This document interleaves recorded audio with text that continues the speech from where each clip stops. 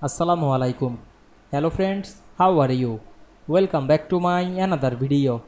In this video, I am going to show you how to group text and image in PowerPoint. Let's get started. At first, you have to open a PowerPoint presentation. Now you want to group text and image. At first, go to the home menu. Select the new slide option and choose blank. Then go to the insert menu and select the picture option then choose picture from your file. Now I am select any picture and click the insert option.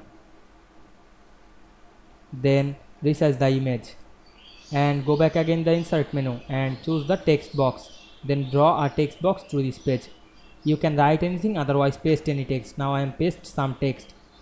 Co- press ctrl v on your keyboard. Now we want to group the image and text. At first select the text box. Then press and hold the shift on your keyboard and select the multiple object or the image. Then go to the format menu and select the group option. Now we can see we group picture and text very easily. I hope you enjoyed the video. Please like comment share and subscribe my channel. Thanks for watching